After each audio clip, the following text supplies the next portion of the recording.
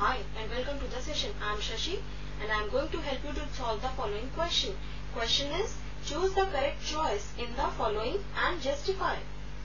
First part is 30th term of the AP 10, 7, 4 is A 97, B 77, C minus 77, D minus 87.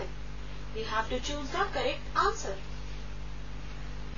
First of all, let us understand that the nth term of an AP with first term A and the common difference D is given by an is equal to A plus n minus 1 multiplied by D.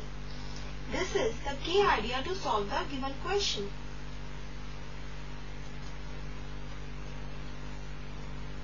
Let us now start with the solution. We are given AP 10, 7, 4. Clearly we can see the first term is equal to 10. So we can write A is equal to 10 and the common difference D is equal to 7 minus 10 equal to minus 3.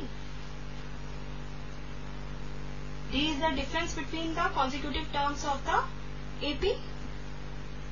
Now we know by key idea nth term of an AP is given by A plus n minus 1 multiplied by D where A is the first term and D is the common difference. Now we have to find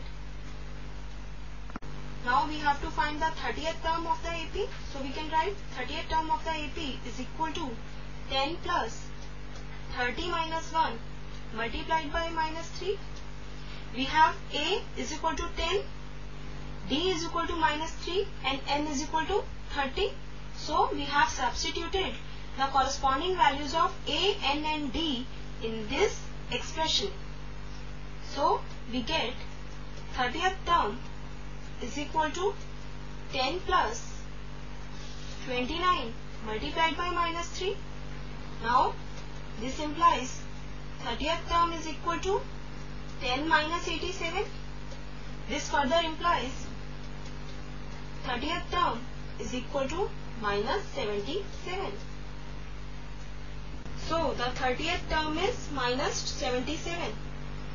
So C is the correct answer. So we can write C is the correct answer.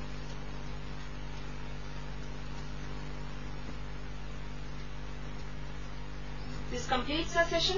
Hope you understood the session. Take care and goodbye.